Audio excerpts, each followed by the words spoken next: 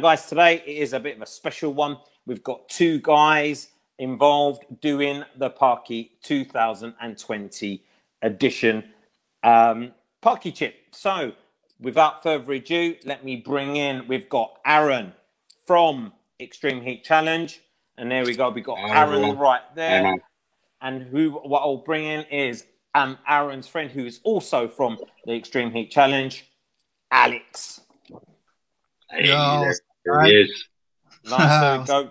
We've got our two. We've got our two chaps now. Before, if you don't know these guys, they're going to give you a little bit of info about them. I'm going to ask a few questions. So just to get ourselves warmed up, I'm going to start with Alex. Now, Alex, um, we were talking before, and um, you said that you you did a few challenges um, in the past. What were those two challenges yeah. that you had done?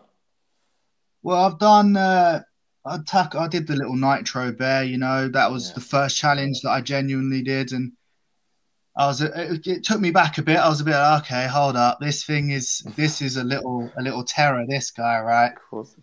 And then um, one day I went to see I went to see Aaron, believe it or not, and we was talking, and he he said to me, he goes, "Hey, bro, you know, you want to get into doing challenges, You've got to try this." And he gives me um he gives me Kiss the Devil spray, and um, sorry, in the, in EHC we kind of have like a little competition going on between me, Aaron, and Matt sometimes. Nice. Uh, I saw Aaron try it, and I don't I can't remember how many sprays you did, Aaron.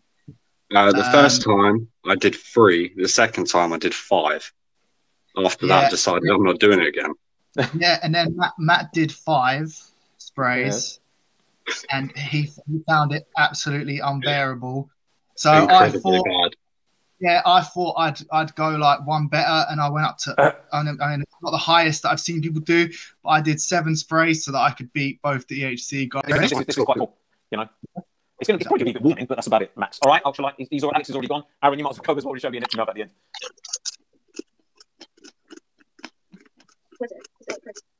Would be a lot easier if it wasn't stale. Because I was going to say that about it being stale. I'm sure the expiry date is long gone.